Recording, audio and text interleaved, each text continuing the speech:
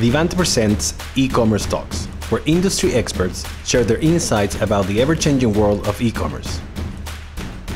Today we'll be talking to Head of Global Enterprise and Business Development at Nosto, Matthäus Bognar. Well, thank you uh, guys for coming back. We're uh, with one of our friends, Matthäus Bognar from Hiya. Nosto. Thank you for being with us today, uh, Matthäus. But um, first, I, I will ask you what I ask most of our guests, if you can introduce yourself and give us a little background of how you end up being now Head of Global um, Markets in, in Nosto. Yeah, well, thanks again for the invitation and thanks for being able to take part. So, my name is Matthäus. I'm uh, Head of Enterprise Global and Business Development International for Nosto. Uh, Nosto is one of the leading personalization providers uh, from Finland, um, with right now over 3,000 retailers in over 100 countries. And well, how, how did I end up in here? So, uh, I guess for the last couple of years, I've always been in the personalization industry, working for two other major players, uh, DACH, uh, um, DACH orientated and UK orientated. And I think with the experience and the network and also like the yeah, the campaigns, what we have achieved with those retailers, that helped basically getting myself into this role and also stepping up now, looking after the whole enterprise approach for Nosto, which is very, uh, yeah, Oh, very it has to be an excited new. Uh, new Definitely, move, right? definitely. It's like um, it's so interesting that for the last couple of years, like the focus for the ecosystems were like Europe Mm-hmm. focused, and now it's global. And it's like very interesting to see how the different e-commerce markets are set up, how they're operated, what kind of players are out there, what kind of new technologies are you know getting developed Yeah, right yeah. now. And uh, yeah, there's a lot of movement around uh, e-commerce and uh, anything related to omnichannel. And uh, yeah, it's very very But interesting. it, it, I mean, it's very interesting what you guys are doing because you're, you, I mean, it's this concept of, of the personalization of the experience for the customer, and it obviously has to affect what, what you say. Personalize something for a U.S. customer versus a European customer is a completely different animal. It is, uh, but then again, sometimes you do have similarities. So, for example, like a fashion retailer in the USA will have more or less similar challenges and problems, let's say, to a fashion retailer from Italy or Poland or Germany. Uh, but then you always have to look on an individual level because customer clienteles are different. You know, they they serve a little bit different around. People in Germany may have a different anticipation on how to use, let's say, internet versus people in America. There it's more open, there it's more free. Uh, people don't really think about the consequences sharing their data anywhere. Where, whereas, like in Germany, everybody's quite paranoid with the GDPR, GDPR, and yeah, uh, GDPR so it's it's quite interesting to see the different you know mentalities and also like uh, what people are trying to accomplish with with e-commerce. Now, I mean, a lot of the people that watch um, our our our cast is um, they're, they're CTOs, people who are very well, Yeah. I mean, very well trained in, in the tech in the tech world.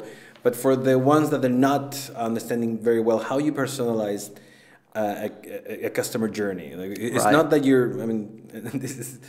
This is an internal joke also, but uh, it's not that your phone is actually listening to you, trying to uh, like learn more from you. No, but no. At the but at the same time, it is somehow. Well, I mean, so the thing is, we are we're not the CIA, so Yeah, that's okay, for good, sure. that's good Um, um, but what we're doing is we have built a personalization platform, which um, the goal has, or the goal is to empower retailers to do personalization more easier. And uh, when you look at Amazon, when you look at Netflix, when you look at Google, like for the last couple of years, there has been more and more personalization invested and ongoing, and this is what the users are more and more expect, uh, expecting from retailers as well. But the thing is, you don't want to invest millions of you know dollars in building Yeah, something you're a small yourself, and then you're not maintaining it, and it's not your core business. I mean, you know, it's, it's not as easy as a lot of people think that by building a recommendation, the topic personalization is done. So what we're doing is we have um, invested quite a lot into, uh, into our AI. And what we're trying to do is we're trying to connect different data silos together and actually make retailers use the data from customers they already have to do be- uh, better personalization. Um, and the way how we do it is basically that our AI um, analyzes the behavioral data and the transactional data, puts it together, um, enriches segments and customer life cycles, and gives those informations back to every CTO or even CMO to say, look, your um, first buying customer life cycles uh, clients have a totally different interaction on the website versus returning customers or VIP customers. And a lot of times these kind of insights are not known and you're like experimenting around and you think like, in that area, that's where I should be focusing on. But when you really start looking at the correlations between products related to uh, to each other or customer life cycles, or brand affinities, yeah. like somebody who loves Nike doesn't necessarily want to see Adidas products and like has a totally different spirit about life and you know how they see themselves so you know na navigating in an online shop that's what we're really trying to accomplish with the ai to really visualize this data and then use those segments and use those data on an automated way to do content personalization to do on-site recommendations to do a b testing to do category personalization and so on. Um, yeah and that's actually quite successful. I mean that's i mean as, as a marketer that's amazing. You you'll be saving me tons of time because one of the, the, the, wrong concept that people have right now is that well as a, as a, as a marketing team as a cmo as a, whatever involved in marketing we'll have to try everything till to, till you find what sticks right? I mean the thing is personalization is not a magic button which mm-hmm. you activate and then you go on holidays and everything is going to run yeah, smoothly I right? that would dollars, be amazing. I mean that would really be amazing. But the thing is personalization is like SEO mm-hmm. you have to constantly experiment. You have to constantly try things out. Um, and I wouldn't actually recommend like personalizing the whole web traffic 100%. You should be doing clever on segments where you see that there's possibilities of, you know, improvements where you have a high bounce rate, where you have a high uh, basket abandonment rate, where you see that people are, you know, still undecided on what they want to do. And the thing is that with the technology from us and also with the other retailers in the same industry, uh, what we all are trying to accomplish is that we want to empower the, the online marketing manager, the, the CTOs also to focus on their projects, but have it have, on the other hand, a very flexible and easy to use tool and partner who challenges you on the daily basis to say, does that really make sense what you're right now doing with your customer data and with your customer experiences? Or would it not be better to maybe have two customer experiences, Adidas versus Nike, and then you have a third one, which is neutral traffic, and without having to invest resources for the next coming sprints, but actually to be quite in, uh, independent and test and try a lot of things out with us and then maybe to build it after in uh, in house with their own development once we know that it has proven. Actually, I, I was I was gonna go there because one of the things that we talk a lot about on the show is is um, externalizing your this kind of services or trying to build your own your own team. Yeah. Uh, it could be as easy if, if, if, I'm a big company, I can just um, call you guys, call Nosto, and say I need help with personalizing these products or figure out how to sell this better. But if if um, one of our CTOs are watching right now and it's a it's a two people or 3 mm-hmm. people company, where he or she should start be looking, like where where they should start with personalization with I mean, exactly. Like what, what kind of uh, human talent they should be, uh, be looking for to join them? Mm, well, so again, personalization is a very big topic, like mm-hmm. SEO. So there are different areas where, where you should be focusing on. I think, as a general advice, what you should be doing is to implement as a very first step recommendations and to find a partner or a technology who is not just limited on one logic, but has a lot of logics behind it, like uh, like fallback logics to say, okay, we detect based on the user behavior, is this a new customer, is this a returning customer? Should we, for example, promote bestsellers or let's say stuff uh, like products on stock, stock or on sale, uh, maybe products with a certain margin, maybe products really um, uh, connected to colors or size. And in terms of in terms of going forward, then once you have like more brand managers who really look after like uh, product categories or brands, that's when it starts making sense to also think about content personalization to really start building custom experiences around, let's say, Nike or Adidas, right? Mm-hmm. So that you have the people and the emotions in the actual uh, online journey of the customer and really connect them to a brand with user generated content, with other impulses which help the customers to make the decision on do I want to buy this or not. And uh, there are really cool, fantastic companies out there.